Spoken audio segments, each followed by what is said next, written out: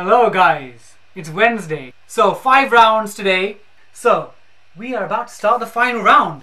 So this is all up for grabs, but the final round is a bit of a twist, a bit of a twist. Okay, so in this particular round, you only get a minute. It's a, it is an extra time. It is literally extra time. I'm to need a watch to time you guys. I'm to need a watch. Can I even find a watch here? If I can't find a watch, I'll, I'll use one. I've got a watch here. So, in this particular round, you have one minute. In fact, it is the 45th minute, so we are really in extra time. You're going to get a point right for every answer correct. But if you guess anything incorrectly, you lose a point. So, be really careful. You get a point for every answer that's correct, but you lose a point. So imagine you get three correct, but one wrong. Three minus one is two points. So be careful, okay? Harsh because it's extra time. I'm the referee, and when it's a stoppage time, and things can change. You could have a Man City type coming back from the dead against QPR. You can have Man United overturning against Munich. Anything can happen. So I'm going to start the watch very strict. as soon as I put the question up, you get one minute. So one minute's even a bit generous. So here we go.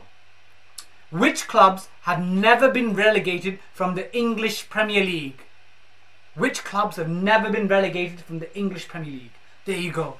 I'll give you 50 seconds. I'm going to do a bit of a dance. Boom, boom. I need the countdown song.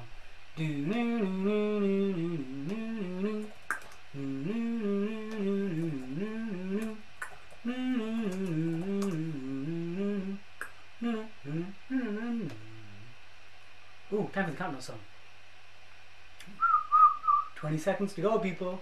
20 seconds to go. 21 seconds to go. Go 20 seconds to go.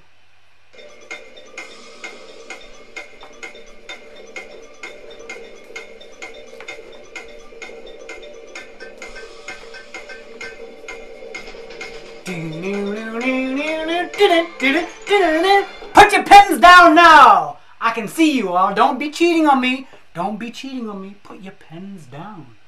Put your pens down. Okay. So,